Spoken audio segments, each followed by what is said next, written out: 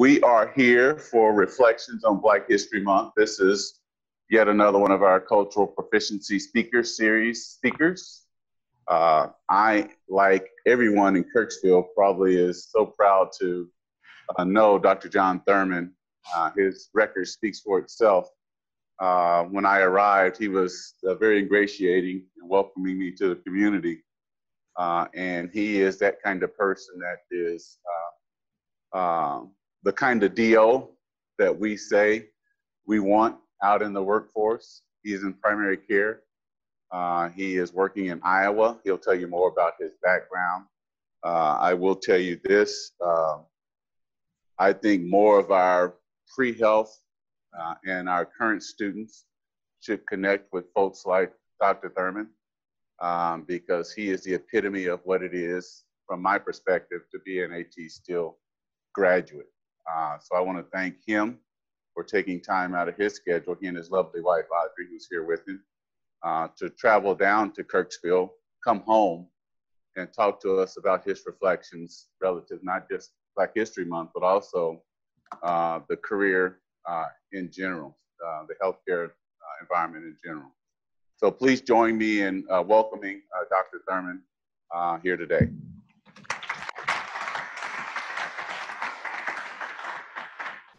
Very cool. The general sentiment of mankind is that a man who will not fight for himself when he has the means of doing so is not worth being fought for by others. And this sentiment is just, for a man who does not value freedom for himself will never value it for others, or put himself to any inconvenience to gain it for others. Such a man, the world says, may lie down until he has sense enough to stand up. It is useless and cruel to put a man on his legs if the next moment his head is to be bought against a curbstone. A man of that type will never lay the world under any obligation to him, but will be a moral pauper, a drag on the wheels of society. And it he too be identified with a peculiar variety of the rave he will entail disgrace upon his race as well as upon himself. The world in which we live is very accommodating to all sorts of people. It will cooperate with them in any measure which they propose. It will help those who earnestly help themselves and will hinder those who hinder themselves. Who would be free themselves must strike the blow. Let me give you a word of the philosophy of reform. The whole history of the progress of human liberty shows that all concessions yet made to her august claims have been born of earnest struggle. The conflict has been exciting, agitating, all absorbing, and for the time being, putting all other tumults to silences. It must do this or it does nothing. If there is no struggle, there is no progress. Those who profess to favor freedom and yet deprecate agitation are men who want crops without plowing up the ground. They want rain without thunder and lightning. They want the ocean without the awful roar of its many waters. This was Frederick Douglass on August 3, 1857. He delivered a speech called the West India Emancipation in New York State. It was the 23rd anniversary of the event. If there is no struggle, there is no progress. This statement serves as the basis for progress in my life.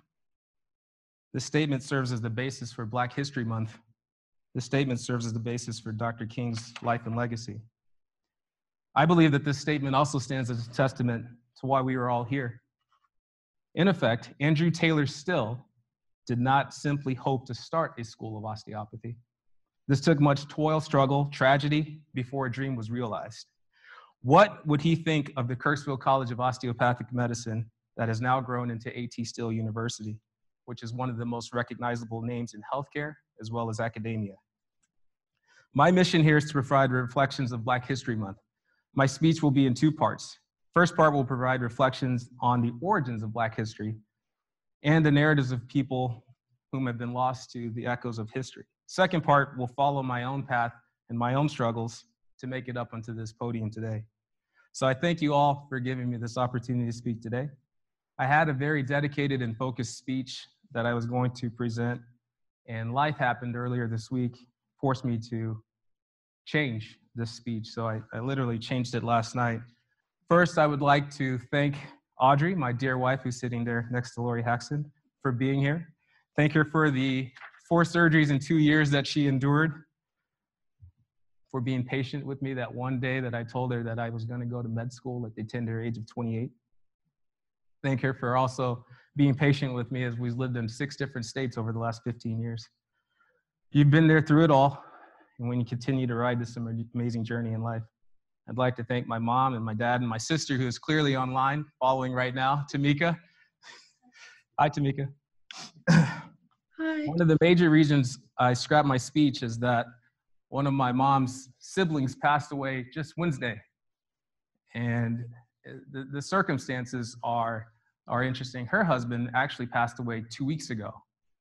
And so my mom uh, is the youngest of 15 and so now there are seven siblings remaining. So my aunt on Wednesday was actually had complained of having some chest pain just on Tuesday. Went saw her doctor, had an EKG, everything was normal. And she was watching her one and two year old granddaughters on Wednesday morning. And one of my cousins went and tried to get in the house and they couldn't. And EMS was called. They were able to get in the house and they found her. So just thinking about my aunt, thinking about my family, thinking about my mom being one of 15 and it makes me think of my grandmother who had the 15 children. And so when I think of Black history, I feel that my family is Black history. They're Black present. And when my grandmother passed away in 1998, so she was born in 1914, at the time of her passing, she had 15 children, 57 grandchildren, so I had 55 first cousins, 108 great grandchildren, and eight great great grandchildren. So that was in 1998. So I, you know, I don't know where that number goes. So as an aside, we did not have family reunions at people's homes. We rented out convention halls for weekend events. Ask Audrey, she's been to them. Their story in part has inspired me to change my narrative today. I'm traveling to Texas tomorrow to be with some of my members of family to celebrate my aunt. I'd also like to thank Clint Normore for his friendship and mentorship. I'm a board member of the Kirksville Osteopathic Alumni Association, he came last April and delivered an impassioned speech about inclusion and diversity and what his mission is here at AT Still University. His delivery, his speech was so moving that a couple of other board members and myself actually started an endowment for the inclusion and diversity program to help with minorities. So I, I wanted to thank Clint for all of his leadership and what he's meant to me as well. I'd like to thank AT Still University President Craig Phelps KCOM Dean Mark, Maggie Wilson, my good friend, members of the board of directors, members of the board of directors from the Kirksville Osteopathic Alumni Association Board, distinguished faculty and that I get to see that are friends, and most importantly, the students that decided to come out and share a few minutes with me. Thank you for all having me. It's great to be back. So with that, I'm going to delve into this. Bear with me. This this needs to be this this this will make sense. So, sails furled flag drooping at her rounded stern. She rode the tide in from the sea. She was a strange ship, indeed, by all accounts, a frightening ship, a ship of mystery. Whether she was trader, privateer, or man of war, no one knows. Through her bulwarks, black mouthed cannon yawned. The flag she flew was Dutch. Her crew was a motley. Her port of call, an English settlement, Jamestown, in the colony of Virginia. She came, she traded, and shortly afterwards was gone. Probably no ship in modern history has carried a more portentous freight, freight per cargo, 20 slaves. The scary fact is from the trade's beginning in the 16th century to its conclusion in the 19th, slave merchants brought the vast majority of enslaved Africans to two places, the Caribbean and Brazil. Of the more than 10 million enslaved Africans to eventually reach the Western Hemisphere, just 388,000, less than 4% of the total, came to North America. Slavery itself was an intricate and powerful system of control that the slave owners developed to maintain their labor supply and way of life, a system both subtle and cruel, involving every device that social orders employ for keeping power and wealth where it is.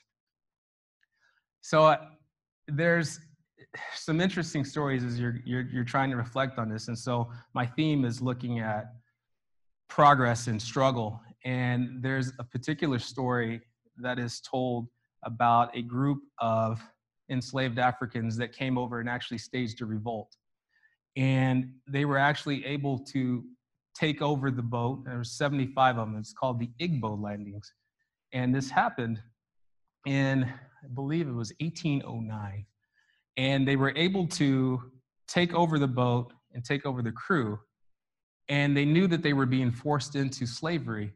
Instead of being forced into slavery, they made the decision as a group to basically, this is one of the first mass suicides in history. So they actually were uh, uh, people that were there. There was a couple of individuals that were able to give eyewitness accounts to this that stated that they were singing songs and they started marching into the swamp. And led by their high chief, and at his direction, they walked into the Dunbar Creek, committing suicide. There were many bodies that were recovered. Uh, some took their own lives. Um, but I think that was not really which was the big the big tale of the story. The, the tale is that rather than remain enslaved, they wanted to be free in the new world. Gradually, their sacrifice took an enormous symbolic importance in local African American folklore. I, I, I, reflect upon that story as just something that's interesting that's in history that's not necessarily taught in the textbooks. Second story is about a gentleman named Hiram Rhodes Revels. Hiram Rhodes Revels there have been 10 African American United States senators in our history, and this gentleman was the first. His story is fascinating because he was born to free persons. His parents were both free, and they had migrated to the South to try to get educated, and he was turned away. So they actually ended up moving up into Indiana and in Illinois in order to complete his education and training. Seems like he was a very gifted orator and actually would become a central part of the Civil War in terms of getting together black regiments. He actually helped to formulate two black regiments. And during that time, he actually became one of the chaplain for one of the units during the Civil War. And after that, he kind of somehow got ushered into politics. And it was just, he was a man that was, seems like he was a man that was just. He believed in equality of all. And he kind of he gave this great speech when they were needing a senator to replace um, a, a, gentleman by the name of Jefferson Davis, and someone said, "This gentleman is going to be the next United States senator." And so he goes up and gets selected, but he is not recognized by the body. The Democrats, so he's a Republican, so the Democrats do not want to seat him. So there becomes this huge uh, blocking of this gentleman being seated to join the United States Senate. And eventually, after much deliberations, they vote on it. The Republicans vote 48 to 8. He gets elected and he serves in the United States Senate for about a year and a half. And then he went on to a life to become a, to run a, a school and some other things like that. But just thinking about where this man came from and having to go through all those things to become the first African American state senator, I think that's just something worthy of, of remembering. Moreover, without struggle, there's no progress. I think of a gentleman by the name of Cudjoe Lewis. He is the second to last known survivor of the Atlantic slave trade between Africa and the United States. Passed away in 1935. Together with 115 other African captives, he was brought illegally to the United States on board the ship Clotilda in 1860. He was only 19 when he was captured by a neighboring tribe who then sold him off into slavery. Because the slave trade was illegal, his captors snuck him and other survivors into Alabama at night and made them hide in a swamp for several days. They burned the boat so they could burn all of the evidence. And then he would actually go on to provide firsthand accounts about what it was like to travel, what it was like to be a slave and come to a plantation not knowing any of the language and, and trying to interact and, and be a part of the society. So after the Civil War came, Union soldiers came and said, You're free. And so they thought, well, we were promised that we would get some form of reparations that didn't happen. So instead of getting mad and frustrated, a group from the Clotilda decided to get together and band and, and save their money and be able to purchase land. And they did this. And they actually bought a couple of acres of land and, and established a community outside of Mobile, Alabama that they called Africatown and they actually formed their own institutions with a little local government, uh, a church, a cemetery, And this became a way of life for these individuals.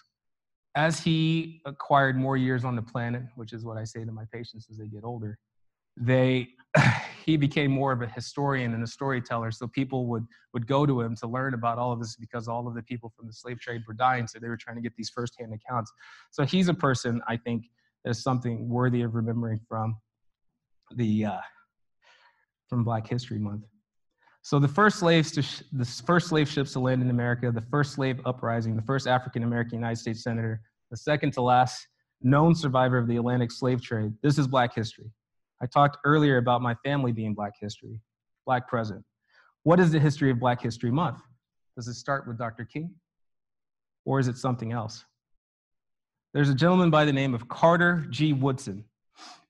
Very interesting gentleman. He was an historian, and he was born to parents who did not have an education. He himself did not have an education and actually would get sporadic schooling as he worked in coal mines as a young person and worked on farms. Eventually, he would get to high school in his 20s, graduate, would go abroad to get a university degree, and would eventually end up getting a doctorate in history at Harvard. So, history was his background, and this became what he was focused on. And more importantly, he was focused on Black history having a foothold and, and not being forgotten. And so he worked really hard to form these associations in which they actually established the Black History Week. And then eventually, after weeks and months and years and toils and trying to make sure that people maintained a focus on this, uh, this Black History Week actually found a foothold. President Gerald Ford actually started to acknowledge this in the 1970s. And eventually, would the on the, I think it was the, fifth, the 100th anniversary, the bicentennial of the country, decided that they would turn it into Black History Month. So it wasn't officially designation by Congress, but Black organization had done so. And so then in 1986 is when Congress signed into law Black History Month. But this was due to the efforts of this gentleman, Carter Woodson, back in 1915 when he first established Black History Week. That was just this little thing that he tried to show people like this was their history, they would have pageants and they would have different types of shows and effects like that. But they also wanted to show the artistry and wanted to show different things like that with respect to Black people and what their contributions were so that would not be lost. So this is kind of where I wanted to start my talk in acknowledgement of Black history. My grandmother's story, I feel, is unique to the Black experience 15 children. They paved the path so that me and my sister could thrive and contribute my mom attended a segregated school. My father attended a desegregated school, to which now I'm a member of its wall of honor, which is irony. My sister has thrived in her mission and philanthropic work. She's had to struggle, I've had to struggle. But I think this is where the story is going to take a little bit of a turn, and I'm going to go to more present day. I'm a graduate of the military academy at West Point. I played football there. And I had great big dreams and I thought I was going to do a lot of different things. And let's just say I got hit in the face really hard by reality when I got to West Point. Everyone that goes there is doing well in life. And so when you get into a sea like this, things are, are, are a little bit more challenging. I would say that I struggled mightily at West Point. I did end up playing four years there, but there were some moments when you start to doubt and you question yourself. So you start thinking about that statement that has started this this whole talk. I found myself making the, a decision whether or not to continue playing football. You have to understand. So, you know, I, I played high school football in the state of Texas, and uh, it's you know that's supposed to be a big deal. And I was a quarterback, and so I wasn't a starter. So I had to make a decision: was I going to be a junior or senior, and was I going to be a scout team player, or was I going to quit and just go off and be a student? And I remember making the decision to stay on the football team as a senior or as a junior, as a senior, and serve as a role model for the freshmen and the sophomores to learn how to be a professional, learn how to contribute when you're not the starter to best prepare the team, to be something more than trying to be the star. And I'll tell you that experience is important because a lot of those guys today, uh, Audrey can attest to that when they come up and they're just like, hey, there's there's Johnny Thurm. I remember when you were, you know, a junior and you would talk to me as a freshman and your, your motivation and, and your example is something I still remember to this day. That was back in the late 90s. I would say moving forward, I think it's important to recognize that we can serve even when we think that service is not something that we're currently accustomed to. I graduated from the military academy and life was taking me to different roads. I ended up going to Fort Riley, Kansas, which is located outside of Manhattan, Kansas. Through the course of life, 9 11 happens. I'm sure you all remember where you were doing that day. We were actually getting ready for a deployment to the National Training Center, which is in California. this would lead me on different trajectory in life. So I would end up going to Kuwait in 2002 for a deployment, and then I would eventually end up going to Iraq in 2003 at the start of the, the war, Operation Iraqi Freedom.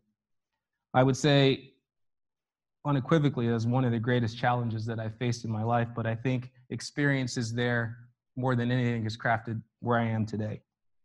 I think Iraq represents a period of growth and discovery and determination for me. In order to understand me, you have to understand why my West Point lineage and my deployment to Baghdad, Iraq, was so important. We had two missions while I was there. The first one was leading my platoon to a propane facility in northwest Baghdad and prov- providing security to that facility. Propane was is the lifeline, so we've got gas, we've got electricity. They don't have that. And propane was to fuel their homes and to keep their homes warm and to cook. So that was once the government fell, you got anarchy. So people are just coming and hoarding and stealing. So we were there to protect it so that people could just have their daily operations. I learned huge lessons of patience and understanding during this time, trying to work with the Iraqis. I worked pretty much as almost like an ambassador or attache with my Iraqi colleagues during that.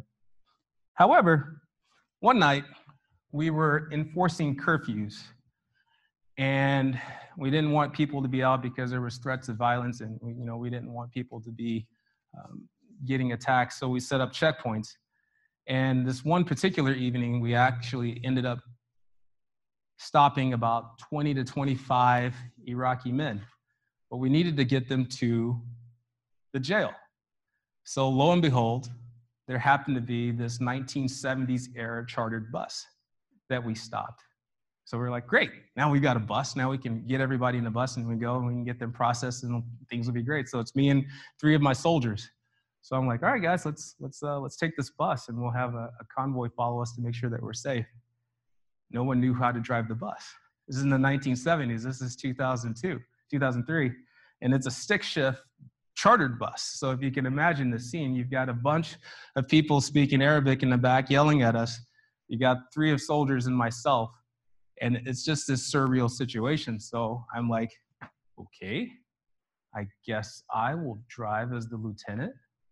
So I drove the 1970s era chartered bus to jail with my Iraqi prisoners. So I don't know if you know about struggling. I mean, this is one of those situations where things could really, really, really go bad if upset people are not very happy. But anyway, not a far cry from that we were able to make it to the jail and they were able to get processed and everything was fine. The big moment that really occurred while I was deployed that changed a lot of things for me was my unit then got a mission change and we were to go down to a hospital in downtown Baghdad. It's called the El Yarmouk Hospital. I'll never forget it. Uh, it was one of those situations I remember after we had been there for a few days, my major came to visit us to check and see how we were doing. And he had remarked that all of you guys are going to need to get counseling. You're, you're going to need mental health counseling for all of the things that you're seeing and experiencing because of what was coming through the emergency room or, or what was coming through the morgue. I remember one day we were coming through and the power would go out routinely, and you could never predict when the power would go in and out. And I remember a young Iraqi boy, probably eight or nine, yes, sir. I had an interpreter with me. I was like, sir, can you please turn the power on? My uncle's in the middle of surgery. And, and I, I just remember thinking, well, there's, there's nothing I can do about the power. But those were some of the experiences that we had. I remember one particular incident where we were also, this was before, I'm sure you've heard of improvised explosive devices, IEDs. I had one brought to my front door um, escorted by one of my soldiers. This is before it was a thing. But they found uh, an Iraqi man had found this big round that was sitting on the ground, and it had like a like a little clock mechanism tied into the nose cone of it. And so my soldier helped him bring it to our front desk, door and be like, "Sir, look what we found." And I'm thinking, "Oh, that's great." So I just put on my Kevlar helmet and just sat down on my bed and waited for it to explode because I was like, "This is insane. Why did he bring this to my front door?" nonetheless, we, we brought the uh, EOD, the explosives ordnance. It's, the detachment came out and they disarmed it. Then it happened one afternoon. Young girl, schooled girl named Fatma. She's walking home from school with her backpack, speeding down the road, and then this little Toyota truck comes around and hits her. Her family gets her to our emergency room. There seemed to be an urgency. I remember it just being just a very chaotic day in the emergency room, and life was was very explosive at that particular point in time in El Yarmouk. And there was just something that drew me to this young lady and her story, and I could just like see the family surrounding, and the doctors were trying to stabilize her.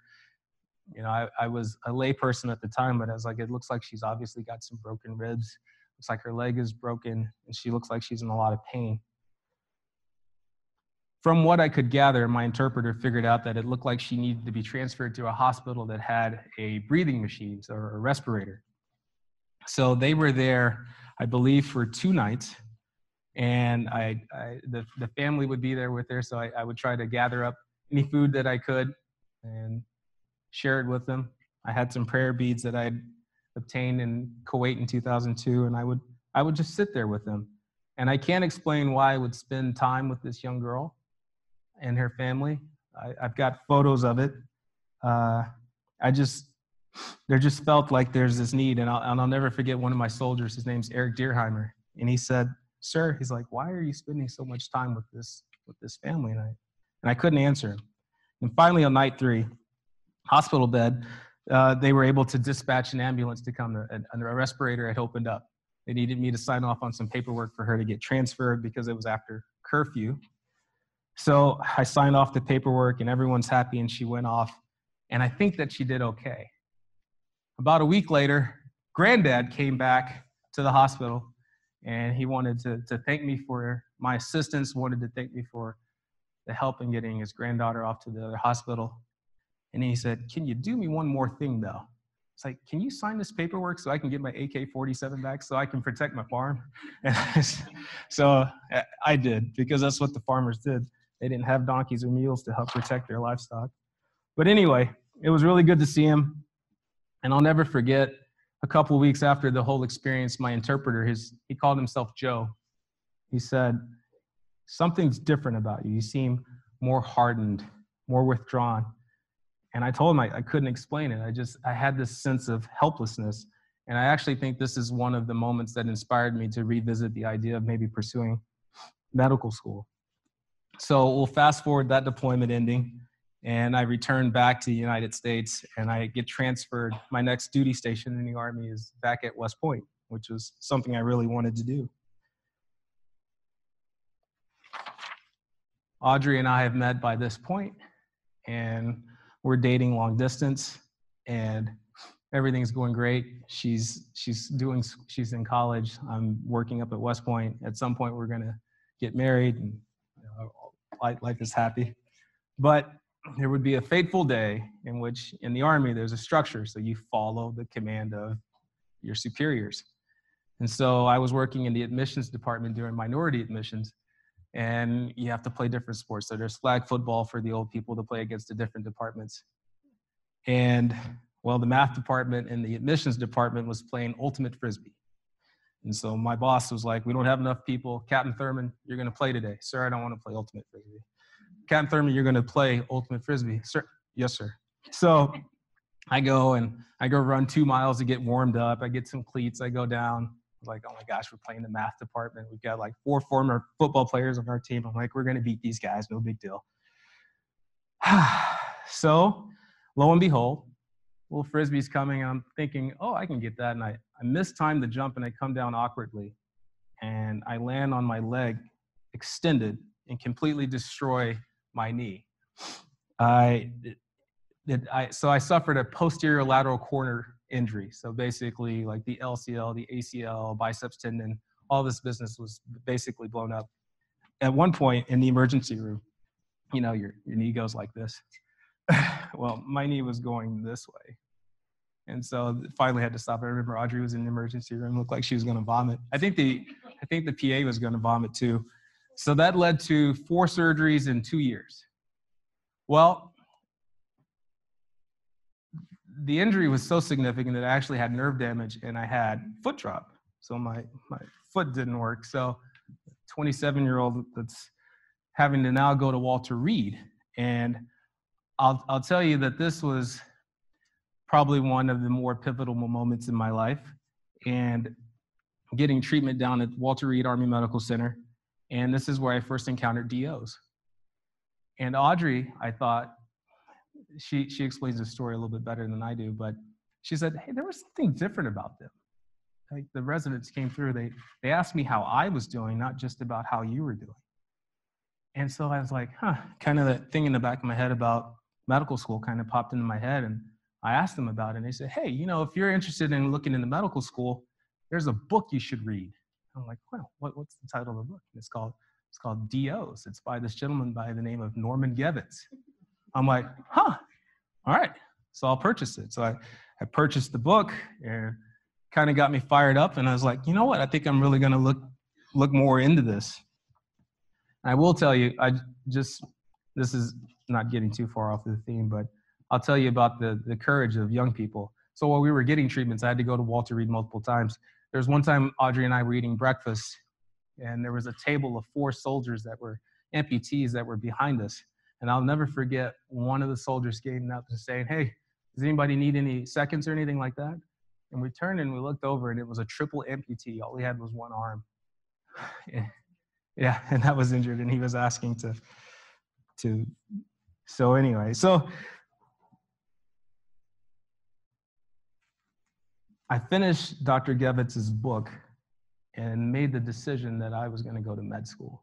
So I come home one day and I tell my wife, I'm like, hey, Audrey, uh, I, I, think I'm going to go to medical school. I think that's what I'm going to do with my life. I, obviously, this army thing's not going to to keep going with four surgeries in two years. And she said, You're going to what? She was miffed. She's like, You're going to get a second degree while I have yet to finish one? And I was like, Ooh, no, I've got a plan. So there's this place, it's called Kirksville. We can go there, and I can go to Kirksville to the, the osteopathic school, and you can go to this place called Truman State. And she's like, okay, whatever. Eventually, that all worked out. She was, she, she's, she's not so unhappy now. So we, we, get to Kirksville. Life is, life is great. Uh, we've established all of these long-term friendships, but I would say that struggle, you know, without struggle, there's no progress. I would say that do you guys still have Operation Osteopathic Service? No, that doesn't exist anymore. Okay. Well, there was a, a big earthquake that hit Haiti in January of 2010, and we were able to help raise some money to help send for those relief efforts. And as irony would have it, or how life tends to, to, to, to shake this way, um, Audrey would actually end up volunteering with a group that goes to Haiti on a routine basis that serves this orphanage as well as a, as a medical clinic. And we've been able to work with them, this organization, to go back and forth to Haiti after the earthquakes, which has been a very life changing thing. One of the coolest things that we did was we went out into one of the rural out areas in Jacmel in Haiti and set up a rural clinic at someone's house that I think was a, a minister. And we saw 50 patients in two hours. And it was amazing. Like people didn't really truly need medical care in some instances. They literally wanted to get multivitamins from us. Like children, all we had was children's multivitamins. And so we were able to get children's multivitamins and acid reflux medication because everyone's eating a spicy diet. So very cool things. And I would say those are very trying and stressful things. And I think this all leads into basically the theme of reflections on Black history, ranging the spectrum of struggle and how that does lead to progress, right? So you can say you can't have anything that doesn't come with some type of struggle, right? Steve Jobs didn't make Apple Apple just because he wanted it to be Apple. That took work, that took struggle. Michael Jordan was not the greatest basketball player because he was just gifted. He worked at it, missed more shots than he made. Look at baseball players. Your batting average is 300 is awesome, right? So I think Frederick Douglass's statement, without struggle, there's no progress, I think is a very, very worthy thing to carry with you through your life. I think of Dr. King. I think of my, my grandmother. We called her Big Mama. I think of people who gave so much. I think of us in the present who are working to pave a way to an, un, to an improved future. My own struggle. I was the class president of two different classes here at Kirksville. Why? Because I had to take an extra year because I struggled academically. After being out of school for seven years, going to Kuwait and Iraq, I academically was a little bit rusty. So it took me a little while. And I'm not afraid or ashamed of my own personal struggle here at Kirksville. Whether it was West Point showing me that medical school was a tough proposition, or feeling helpless with Fatma and her family, or having a bomb delivered to my front steps, or to destroying my knee, I think perseverance and continuing to push ourselves in service of others is ultimately the message of Black History Month. If there's no struggle, there is no progress. I'd also like to add that not only am I practicing medicine in Iowa, I'm a family medicine physician, I'm also the hospice medical director. And that has been one of the great gifts and joy of my life to participate in that particular discipline and that part of life. So I think it's a very important part. So I'm going to leave you with two quotes, and then I'll conclude this. First quote is When you arise in the morning, think of what a precious privilege it is to be alive, to breathe, to think, to enjoy, to love. That's Marcus Aurelius. And the last one is me. Quote Take grasp of the cup of love and pour it out onto the spirit of life. Now, this is how we're going to end this. I'm going to make my mama and my family proud. We're all going to take a selfie so I can share this moment with them and send this back to Texas. Is that okay with y'all? y'all all smile back there, okay? We'll get a couple shots. Hey there. All right. Thank you all. all right.